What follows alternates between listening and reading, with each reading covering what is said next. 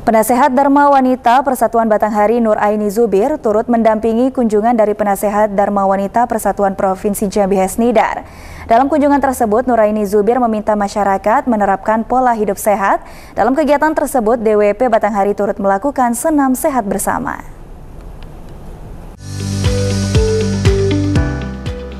Dharma Wanita Persatuan atau DWP Provinsi Jambi melakukan kunjungan kerja sekaligus silaturahmi terhadap Dharma Wanita Persatuan Batanghari pada Jumat 3 Juni 2022.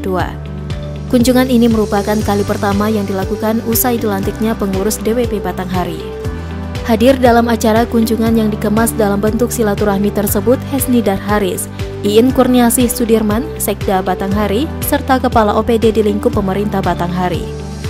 Dalam sambutannya, Nur Aini Zubir selaku penasihat DWP Batanghari mengatakan, saat ini penting bagi masyarakat untuk menerapkan pola hidup sehat. Karena hal tersebut sempat terlalaikan, untuk itu penerapan pola hidup sehat menjadi hal penting yang harus kembali diterapkan oleh masyarakat guna mendukung kreativitas untuk bertahan dalam segi ekonomi. DWP Kabupaten Batang, eh, Provinsi Jambi dan Bapak Bupati yang saya hormati, serta hadirin sekalian. Mungkin dari masalah yang lalu banyak hikmah yang dapat kita petik mulai dari pentingnya kita membangun yang selama ini mungkin sempat terbengkalai di mana pola hidup sehat solidaritas bagi sesama semangat gotong royong dan arti penting kreativitas agar dapat bertahan dari segi ekonomi.